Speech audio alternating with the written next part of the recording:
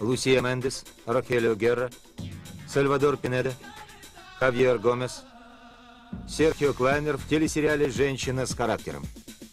Автор сценария Виктория Саратини. В остальных ролях Маргарита Исабель, Венди де Лос Кобес, Марта Аура и другие.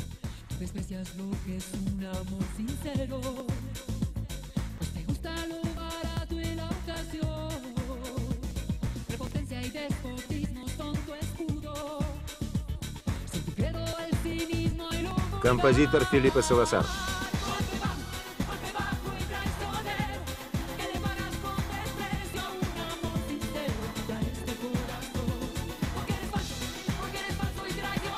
Художник Ариэль Бьянко, оператор Мигель Вальдес. Продюсер и режиссер Хосе Рандон. Прости меня, но я не могу. Но почему? Скажи, мы любим друг друга? Я не знаю. Я вдруг вспомнила. Я вспомнила. Ты должна преодолеть это. Нельзя жить в постоянном страхе и угрызениях совести. Нет, на этот раз все было иначе. Это совсем другие воспоминания. Как это другие? Не могу сказать, мне как-то не по себе. Клянусь тебе. Я люблю тебя, и я клянусь, что я хотела, чтобы мы стали близки. Но мне сейчас необходимо собраться с мыслями. Прости меня. Давай забудем о том, что было. Будем бороться вместе и вместе справимся с этим. Если хочешь, я отвезу тебя домой. Спасибо. Тебя проводить? Нет, не нужно. Все нормально. Вечер был замечательный. Мне тоже так кажется, милый. До свидания. Спасибо за все.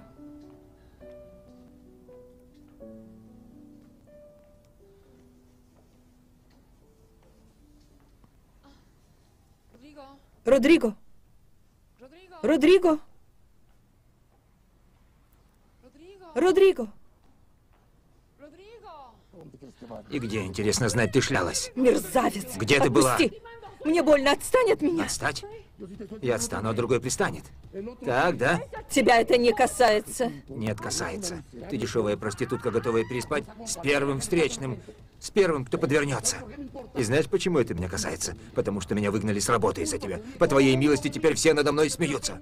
Нет, над тобой не смеются, потому что ты не смешон. Ты противен. И не тебе меня винить. Ты больше не мужчина. Сильвана, сейчас ты увидишь, мужчина я или нет. Мама! А заодно и твоя мамочка это узнает. Мама! Позови маму. Отпусти ее! Зови. Сейчас я тебе покажу, На мужчина я или нет. Сейчас вы обе узнаете. Я тебе сказала, подрец, чтобы ты отпустил мою дочь. Я Ну сейчас ладно. убью тебя. На помощь полиция. Я вас обеих предупреждаю. Ведьмы. Проститутки. Убирайся к черту. Полиция! Ну как ты, красавица моя? Что же он с тобой сделал? Мы этого так не оставим. Этого человека мы засадить в тюрьму. Как ты себя чувствуешь? Что он с тобой сделал? Ударил? Мне очень тяжело. Он схватил меня за волосы, совсем с ума сошел. В сумасшедшем доме его место. Как же мы раньше этого не замечали? Слава богу, доченька, что мы избавились от этого психопата. Я не могу допустить, чтобы Джина оставалась с ним под одной крышей. Мы должны забрать ее. Из огня да в полымя, как говорится. Ладно, разместимся как-нибудь. Нет, здесь она окажется бок о бок с Матильдой, и будет то же самое. Я собираюсь попросить суду у Дона Гонсала снять квартиру. Умоляю тебя, доченька, ни под каким видом не одалживай деньги у этого человека. У меня кое-что есть. Я тебе дам. Дон Гонсало очень добрый, мама. Я чувствую к нему симпатию, и потом мне сейчас выбирать не приходится. Послушай, Матильда, сейчас мы у меня дома и решаем семейные вопросы. Ладно, тебе виднее. Но только я терпеть не могу эту лицемерку. Я тебе кое-что приготовила. Скоро увидишь. Вот перевод на банковский счет Сандры. Беги скорее, обрадуй свою мамочку. Отлично. Крестный сказал мне, что мама изменяла тебе, прежде чем ушла из дома. Это правда? По-моему, тебе лучше поговорить об этом с матерью, а не со мной. Почему ты мне об этом не сказал? Не было повода. Как это не было повода? Я столько лет никак не мог понять, зачем ты выкинул все мамины фотографии? Почему никто в доме не смел заговорить о ней? Родриго, в твоем возрасте надо уметь преодолевать детские комплексы. И давай не будем начинать этот дурацкий разговор. И потом, что я должен был тебе рассказать? Что твоя мама сбежала с любовником, даже не подумав о тебе? Неужели ей было безразлично, что она с тобой расстается? Или ты сделал что-то, чего она не могла простить? Думай, что хочешь, мне все равно.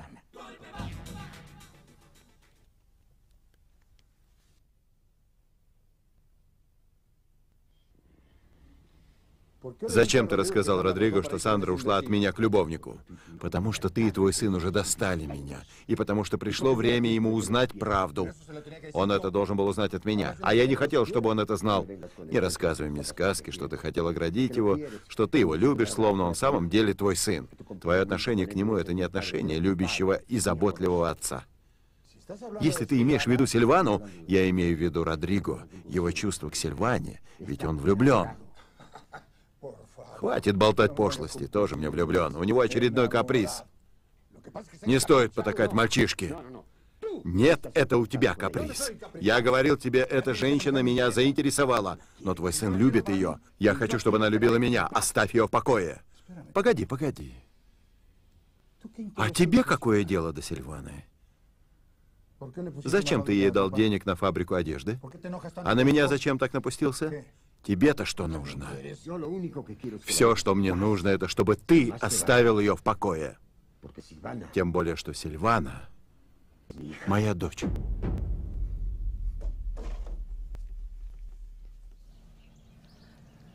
Мы чуть не стали близки вчера с Родриго.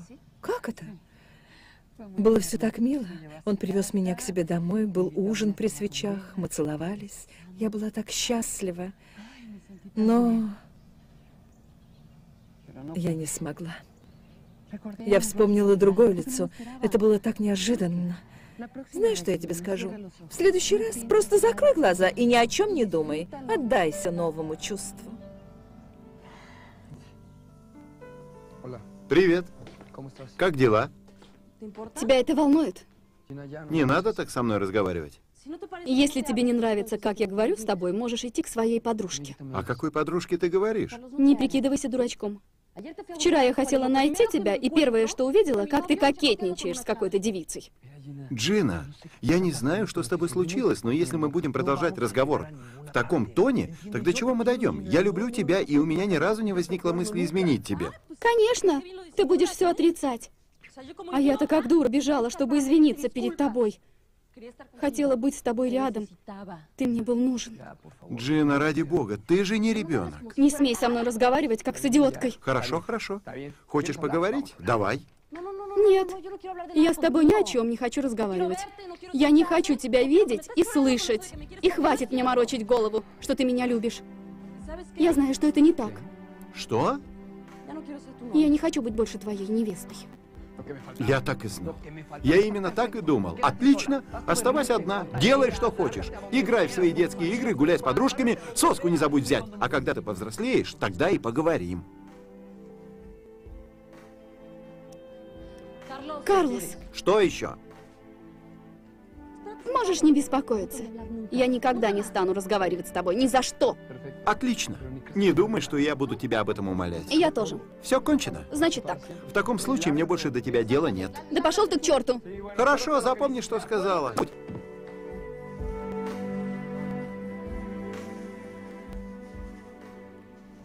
Мне нужно знать, что же случилось той ночью. Это может показаться странным, но каждый раз, как я его вижу, мне на память приходят странные вещи.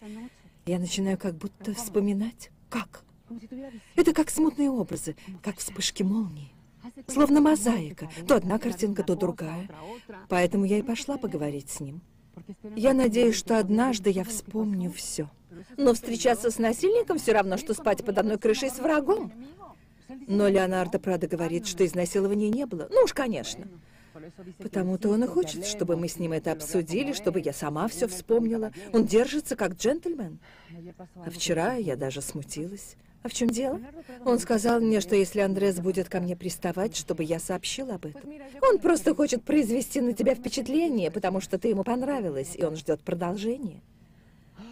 Я даже и думать об этом не хочу. Сейчас меня больше всего беспокоит моя... Годы. Долгие годы я работал в этой фирме. Для чего? Чтобы этот идиот? Чтобы он меня выгнал? Зачем поднимать шум? Ты что, не понимаешь, в каком я положении? У меня есть семья, есть дочь. Куча людей зависит от меня.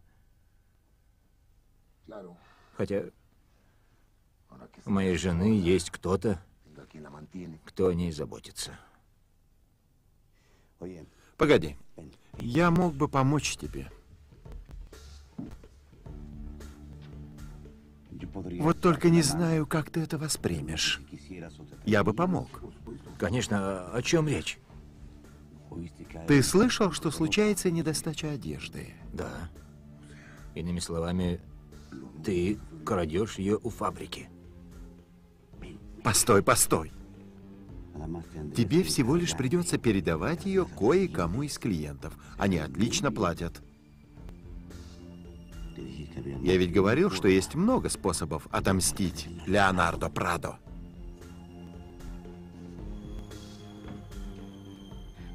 Здравствуй, тетя. Вот что я тебе скажу, деточка. Как у тебя хватает наглости приходить в этот дом, словно он твой? И это после всех гадостей, которые ты сделала моей дочери. Но я ничего не делала. Ничего? Нет. А почему моя одежда лежит здесь? Сейчас я тебе объясню, мерзавка. Меня ты больше не обведешь вокруг пальца.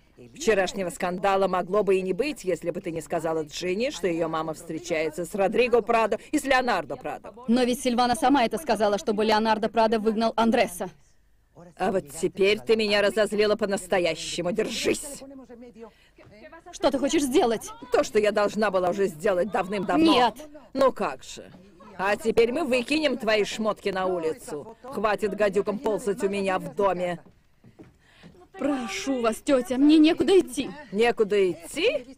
Раньше надо было думать об этом, а не гадости делать. Мне теперь на это наплевать. Так что собирай свои шмотки и убирайся, а не то я их выкину из окна на улицу. Выбирай.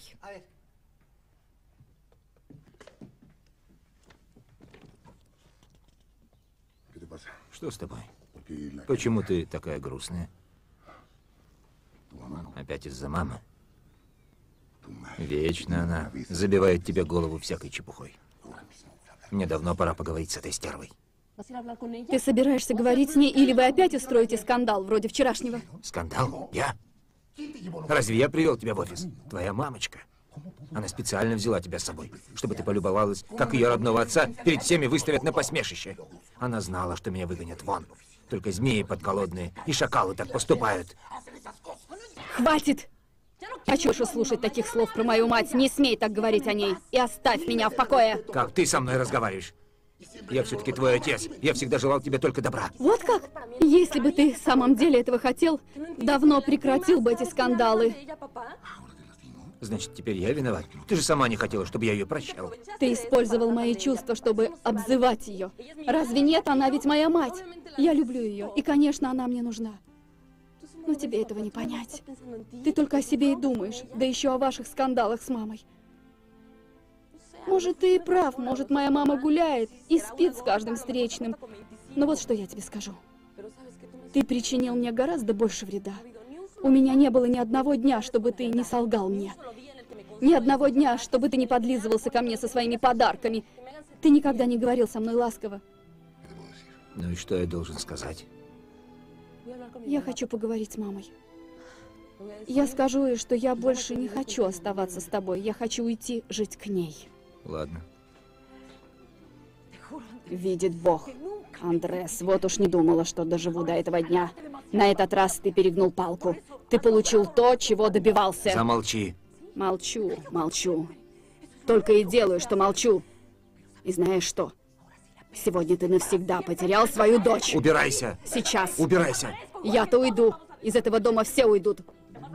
Скоро один останешься. Ни минуты спокойно не бывает в собственном доме.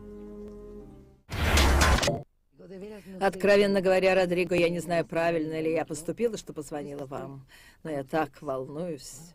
Конечно, правильно. Что случилось? Как вы понимаете, речь идет о Сильване. Я так беспокоюсь за нее. Мало того, что у меня куча проблем с внучкой, так теперь я еще должна умирать от страха из-за муженька Сильваны. Вы знаете, что произошло? Нет. Сейчас я вам расскажу. Началось с того, что ваш папа выгнал Андреса с работы. Вот так вот взял и выгнал. А Андрес во всем обвинил Сильвану. А вчера вечером я как раз жила на лестнице. Он появился, схватил ее за волосы, чуть не ударил. Орал, как сумасшедший. Я его ударила хорошенько, но, откровенно говоря, не будь меня, не зная, чем бы все это кончилось. Ничего себе. Какой же кретин этот тип. Но вчера вечером я сам ее провожал, ничего не понимаю. Потому-то я вам это и рассказала. Я попрошу вас об одном одолжении. Когда в следующий раз вы будете провожать мою дочь, пожалуйста, не оставляйте ее внизу. Пойдите с ней в подъезд.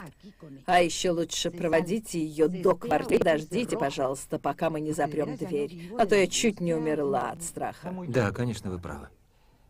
Это было глупо, но она сама попросила меня не подниматься. Честно говоря, я только потому и осмелилась попросить вас об этом, что я вижу, что вы человек тактичный. Спасибо. А еще кое о чем я могу вас попросить. Вы не хотите помочь моей дочери изменить ее жизнь? Вот об этом вы можете совсем не беспокоиться. Сильвана теперь не одна. Приятно слышать. С вами ей легче будет забыть все свои горести. Вот еще что. Не говорите ей, что мы с вами тут шушукались. Ладно? Само собой, разумеется.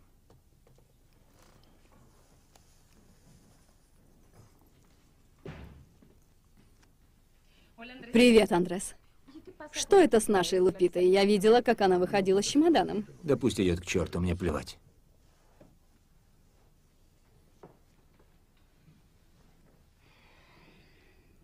Я хотела, чтобы ты знал, что ты больше не один. Если хочешь, я могу остаться жить у тебя.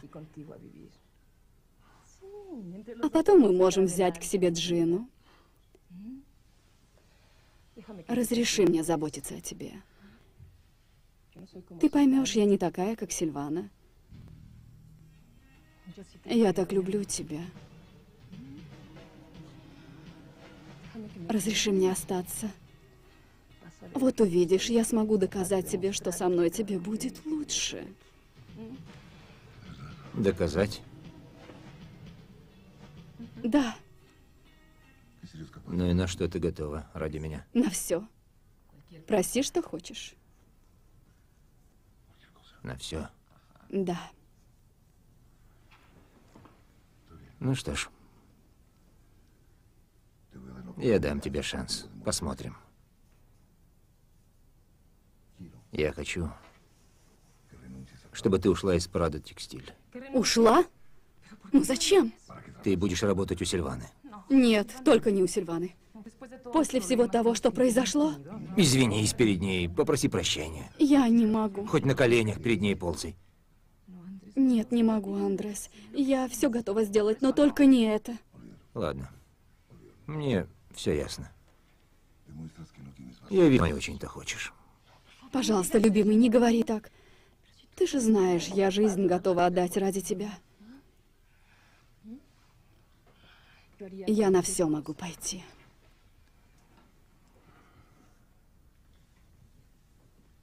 Матильда. Я понимаю, то, что я прошу, сделать нелегко.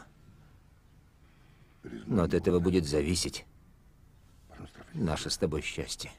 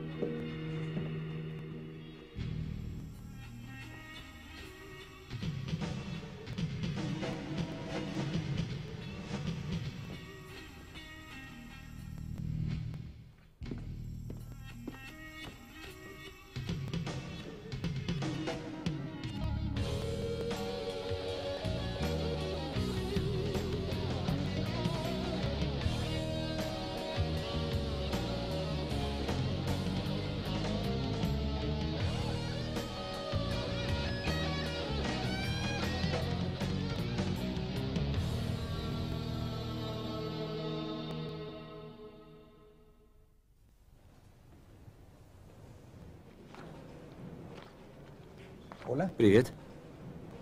Привет. Я тебя не ждала. Мне очень хотелось тебя увидеть. На тебя был тяжелый день. Я хочу провести с тобой несколько приятных минут. Вдвоем. У меня бутылка шампанского. Давай, отметим. Только вдвоем. А за что мы будем пить? Я предлагаю выпить за успех твоего дела. За умную и очаровательную женщину. За женщину, которую я люблю. Очень люблю. Я тоже люблю тебя.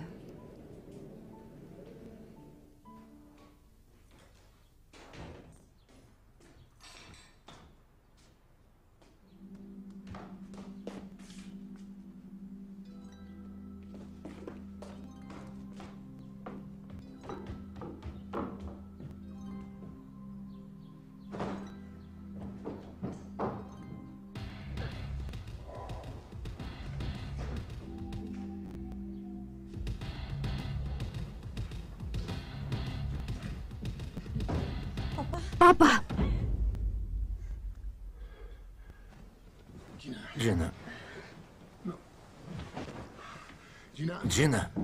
Джина.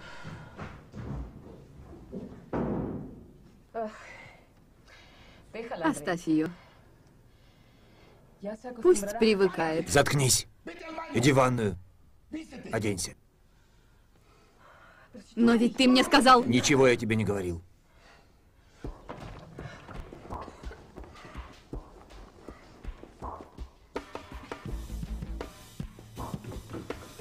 Джина. Джина, подожди, я тебе все объясню.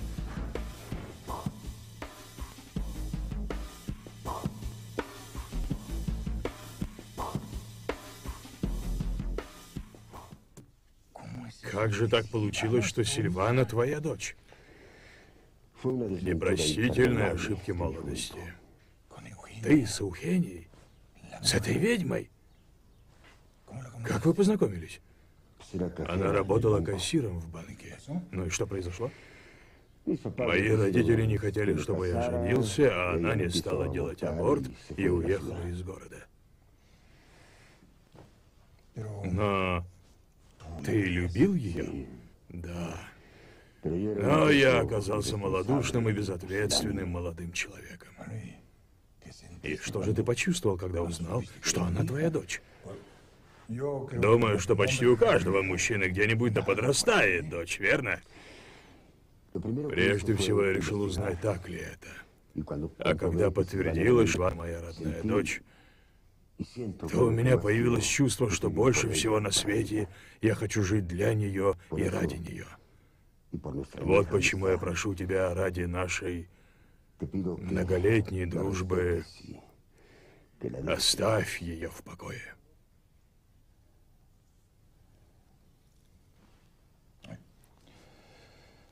Хорошо, я постараюсь. Но клянусь тебе, клянусь тебе чувством, которое я к ней испытываю, что меньше всего я хочу причинить ей зло. Я хочу, чтобы ты знала, я всегда буду рядом с тобой. И в любом деле ты можешь на меня рассчитывать. Спасибо. Ты даже не представляешь, как много для меня значит твоя доброта и эти слова. Любимая, что с тобой происходит? Я беспокоюсь из-за Джины, хочу ее видеть. А почему бы вам не встретиться где-нибудь, не поговорить? Я боюсь, что она не захочет. Будет лучше, если мы поговорим у нее дома. Но я не хочу отпускать тебя одну. Андрес может быть там. Меня не интересует Андрес, меня интересует моя дочь. А вот мне не все равно. Я не хочу давать ему повод. Ничего хуже он мне уже не сделает. Как бы то ни было, я поеду с тобой. Даже если мне придется сидеть в машине. Да? Твое здоровье. И твое. Поехали? Поехали. Бутылку возьмем с собой? Разумеется. Что случилось, Андрес? Она ушла к своей матери. Это конец. Со мной покончено. Она отняла у меня дочь. И все это из-за тебя. Ты слышишь? Из-за тебя. Зачем ты затащила меня в эту комнату? Какого черта ты легла под меня? Ты такая же шлюха, как и все. Такая же, как моя жена. Что ты говоришь, Андрес? Не надо так. Мы ведь оба этого хотели. Да, оба. Зачем ты вообще приперлась ко мне со своим вонючим чемоданом? Вы, наверное, с ней договорились уже обо всем, да? Ты нашла общий язык с этой гадюкой. Вот она и отняла у меня дочь. Бог с тобой, Андрес, перестань. Что ты говоришь? Вот увидишь, она вернется. Надолго она там не останется. Ей там вряд ли понравится. К тому же у моей тетки нет свободных комнат. Разумеется, она вернется. Не то я ее силой сюда притащу. Даже если мне придется передушить вас всех. Гадюки.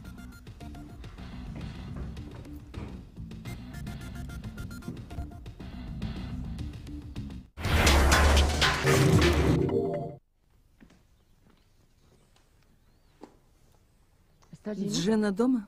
Нет, Она еще не пришла. нет. Лупита, Ее тоже нет. Я одна. а что ты здесь делаешь? Ты что, уже забыла? Когда твоя мамаша меня выгнала, Андрей сказал, что я могу остаться у него. Тебе незачем садиться.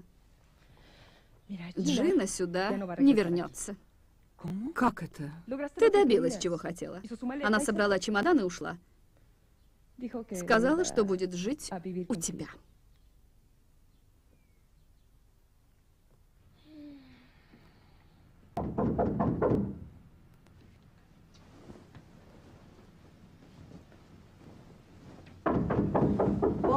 Иду, иду.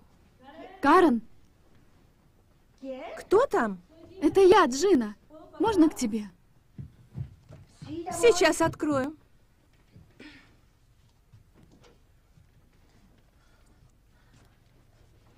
Ты можешь сейчас со мной поговорить? Конечно, заходи.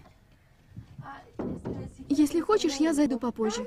Да не беспокойся. Да, но... Виктор уже уходит, не обращай внимания. Привет. Привет. Пока, любовь моя.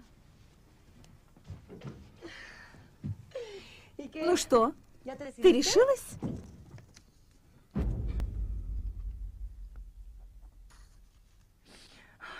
Евгения, подумать только, ведь я всю жизнь отдала ему.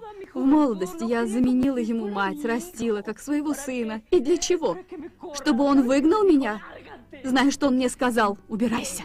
Этот хам был всегда невоздержан на язык, ты же знаешь. Пей чай, не обращай на него внимания. Спасибо. Вот что, Лупита, послушай меня, давай взглянем на это дело. Если Сильвана и Джина будут жить со мной, то и ты оставайся с нами, у нас подберется теплая компания. Спасибо, Евгения, но мне сейчас так плохо. Всю свою жизнь я провела как приживалка. Тоже мне трагедия. Будешь жить в моей комнате, и никаких проблем. А если ты храпишь, я тебя отправлю спать в ванную. Я не пошутила. Это, наверное, Джина. Где моя дочь? Кто дал тебе право входить? Где Джина? Боже мой, что он хочет сделать? Надо вызвать полицию. Или ты уйдешь, или я вызову полицию. Без моей дочери я никуда отсюда не уйду. Вот что я тебе скажу. Если моя внучка захочет здесь остаться со своей матерью, придется тебе потерпеть. Андреас, подумай спокойно. Зачем усложнять всем жизнь? Подумай, умоляю. Или ты сейчас же уйдешь отсюда, или я вызову полицию. Я никуда не уйду, и вы никуда не будете звонить. Я знаю, что кажусь тебе сумасшедшей, и что веду себя не так, как должна была бы. Но мои родители совершенно не понимают меня. Честное слово, это так ужасно жить в доме, где мама то и дело говорит, что приносит себя в жертву ради интересов отца. Ничего удивительного, что они все время ссорятся. Конечно, они только и делают, что ругаются. Более того, даже сейчас, когда они не живут вместе, они и часа не могут провести спокойно. У меня просто сил нет на все это смотреть. Они не обращают на меня внимания. Я чувствую, что совершенно одна. Да уж, нелегко тебе. Но во всяком случае, я тебя там уже нет.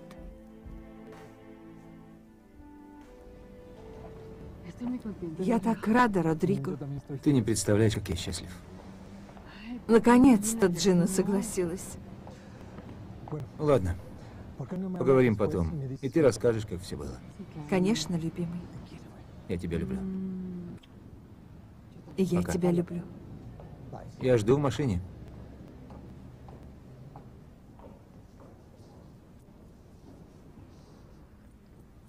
Андрес, ради бога, успокойся. Ты только все усугубляешь. Мама? Где моя дочь? Не знаю. Матильда мне сказала, что она должна быть здесь. Что, разве Джина не с тобой? Господи, она ушла из дому. Я так и знал. Так и знал.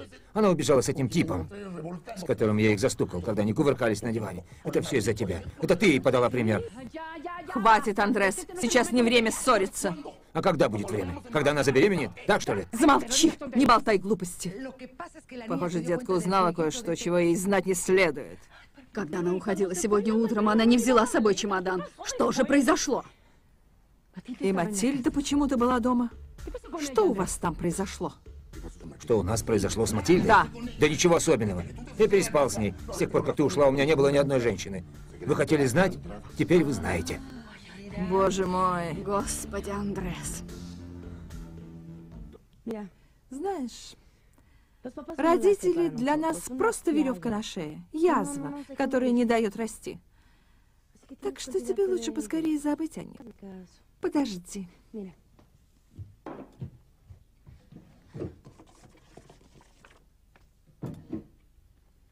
На, это проспекты компании «Дом Надежды». Почитай.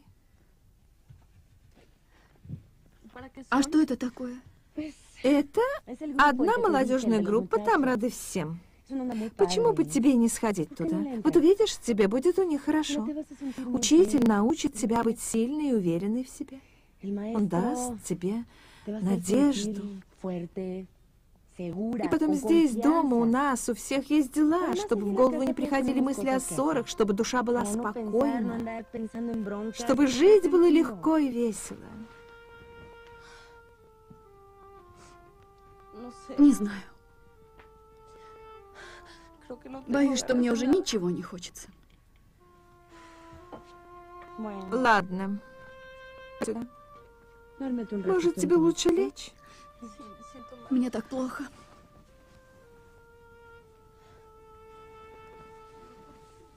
Не расстраивайся так. Все будет хорошо.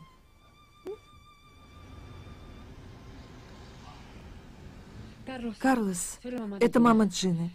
Она у тебя? Похоже, что она ушла из дома. Понятия не имею. Ты не мог бы поговорить с друзьями, может, кто-то знает что-то о ней? Я тебя очень прошу. У тебя есть мой телефон? Что он тебе сказал? Ну что? Он ее не видел и ничего не знает. Кажется, они поссорились. Он поговорит с друзьями, а потом позвонит мне. По-моему, мы все делаем из мухи слона. И вот что я тебе скажу. Джина у нас не дурочка. Вот увидишь, скоро она одумается и вернется. Скорее всего, она побежала поплакаться в жилетку какой-нибудь подружки. А тебе, я думаю, лучше всего пойти домой. Наверняка она уже пришла. Давай, иди. Конечно, все лучше, чем терпеть ваше трио. Пень ты паршивый. Не думаю, что все так просто. В любом случае, когда Карлос придет, мы пойдем ее искать. Но куда? Да куда угодно, я не знаю. С ней что-то случилось. Может, ее похитили? Нет, боюсь, что она пошла к той подружке, что уговаривала ее уйти из дома, помнишь? Наверное. Карлос должен ее знать. Девчонка, о которой я тебе говорила, уснула. Мартин приказал мне сделать это с каким-то цирком. Кто-то из новеньких. Нет, мне не хочется выходить. А что, если она проснется, а меня не будет? Я хотела сказать, может, ей лучше вернуться к родителям? Приходи завтра, поговори с ней. Может, убедишь ее? Пока.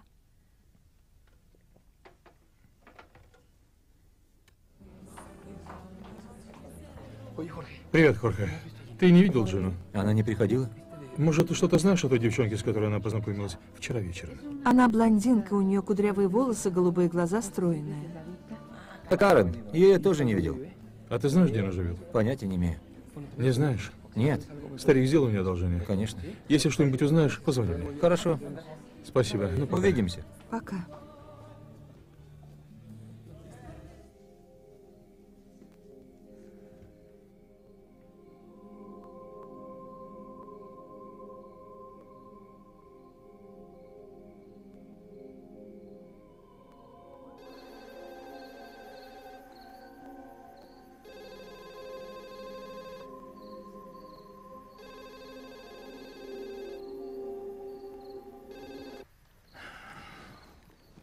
Слушаю, Родриго, я не могу найти Джину. как ты не можешь найти? Пожалуйста, помоги мне. Я не знаю, что делать. Конечно, ты только успокойся. Объясни мне, что случилось? Да, я сейчас выхожу.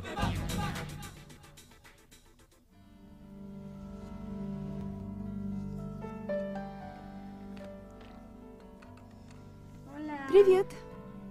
Привет. Ну ты даешь. Спишь, как сурок. Как ты себя чувствуешь? Мне уже пора. Как это пора? Куда? Я много думала об этом. Теперь я приняла решение. Спасибо тебе за все, Карен. Но ты не можешь вот так уйти. Ты нездорова. Нет, мне правда намного лучше. Спасибо. А я говорила с одним человеком, просила его прийти. Он собирался познакомиться с тобой. Он научит тебя, как жить дальше. Я теперь знаю сама, как мне быть. Спасибо за все. Прости, что морочила тебе голову. Ну послушай, Джина. Я очень тебе благодарна. Прощай. Прощай.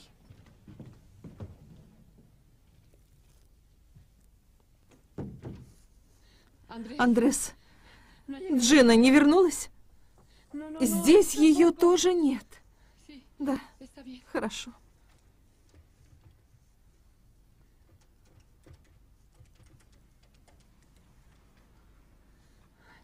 Скажите, у вас по-прежнему нет новостей от Джинни Каранса? Спасибо. Что-нибудь известно? Ничего. Погоди, золотце. Кто там? Родриго, Заходите. Как хорошо, что вы пришли. спасибо. Ну что? Я обошел все полицейские участки, но там мне ничего не известно. Что мне делать, Родриго? Я просто с ума схожу. Что с моей дочерью? Умоляю, сделай что-нибудь. Не волнуйся так. Я разговаривал со следователем. Мы договорились еще раз встретиться у него в кабинете. Я обещаю, что не остановлюсь, пока не найду ее. Я даю честное слово, что приведу дочь к тебе. Ты можешь положиться на меня. Я ее разыщу. Только не волнуйся. Доченька, доченька моя. Скажите, это офис сеньора Леонардо Прада? Как вас представить? Джина Каранса. Дон Леонардо вас спрашивает некая Джина Каранса. Да, сеньор. Проходите, пожалуйста. Спасибо.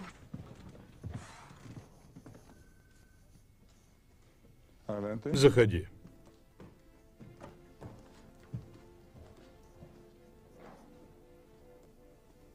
Как дела, Джина? Ты что-то хотела? Я подумала, что мой отец пришел забрать свои вещи. Мне очень жаль, что так произошло с твоим отцом. Раз вам так жаль, может, вернете его на прежнюю должность? Я не могу. В том, что случилось, виноват не мой отец, а вы. Я? Да нет, Джина. Ты, вероятно, неправильно поняла. Вы нечестный человек.